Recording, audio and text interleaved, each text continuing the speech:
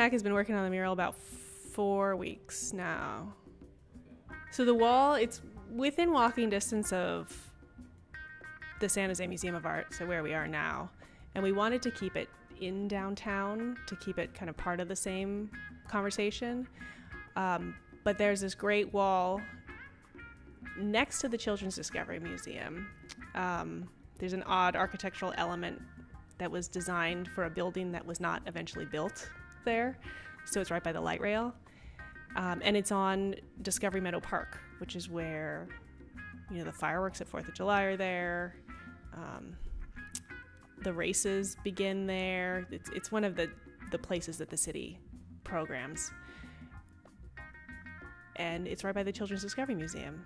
And Mac was talking about doing an image of a of a child. It's perfect. So that's the wall. Everyone I talk to has changed their uh, their driving paths to work so they can go by the wall and, and, watch the progress. Actually, when we even first started floating the idea of doing this project with El Mac here, I mentioned it to some people on the street, you know, some hairdresser, you know, some other people, and they all knew who he was. I was like, well, that's the obvious fit. I mean, there's a mural culture here. If you've looked around at all. And so I started talking to them too. Uh, Juan Carlos at Empire 7 and mentioned, so I'm thinking about doing this mural with this artist El Mac. Do you know him? And of course, Carlos was like, oh, I've been trying to get him. So it, yeah, it was a great fit. And then everything just kind of snowballed from there because the conversations about where we were going to put it. You know, I'm an art museum curator, so I work within temporary galleries most of the time. So to do something permanent in a public space is a totally different animal. So, you know, presenting in City Hall, um, working with partners at the Children's Discovery Museum once we established that that would be the site, getting designs okayed, all this kind of stuff. So it's a it's totally collaborative in a way that's different. He's painting um, a portrait of Sophie Cruz, who is now nine years old.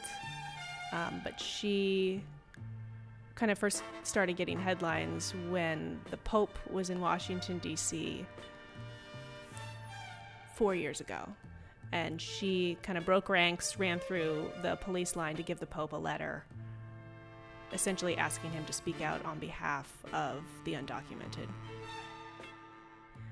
So now she's sort of a face of immigration advocacy. Um, she just gave a great speech at the Women's March in Washington. I know she visited Obama in the White House. I don't think the current administration will invite her.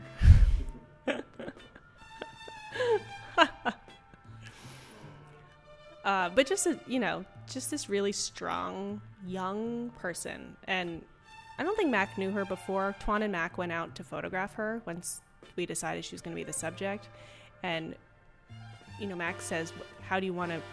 How do you want to pose? What do you want to be holding?" And she is the one that decided she ran inside to get a globe. She knew exactly. She, I want, I want to hold the world.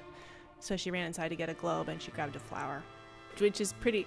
There's a lot of amazing things in that. Both that she is, she as an individual is so self possessed to. Ha- I mean, if someone asked me, what do you want to hold in a portrait? I, I don't know. I don't know what I would grab, but that she already knew and was self possessed enough to do that. And then also the the thoughtfulness that Mac brings to it in letting someone present themselves. So he's not, you know, giving her a teddy bear or something to be holding, but that whatever message she wants to get across, that's what he's going to depict. I don't know that I had any expectations for how he was going to do it. He's he's very methodical. Um, I won't say he's slow. He is slow, but it's because of the attention that he's bringing to it.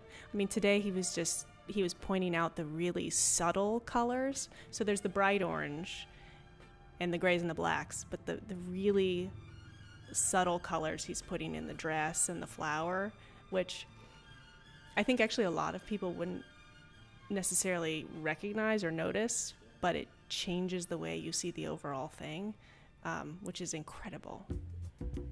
And he does it in the dark. I don't know how he does it in the dark. Mac is astoundingly low key.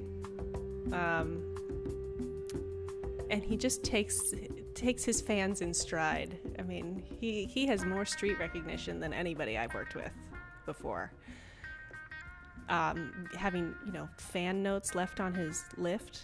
That's a that's pretty cool. um, yeah, but he's no, he's great. He knows what he's looking for. He was really conscientious in terms of the details the gest you know the attention to the the particular gesture of the hand or the the way the specificity of the way the thumb is posed those kinds of details he's really concerned with um, which you know i very much appreciate coming from a like a fine art fine art background and the dialogue that he has with old masters and this history of pictorial representation um, it's really great.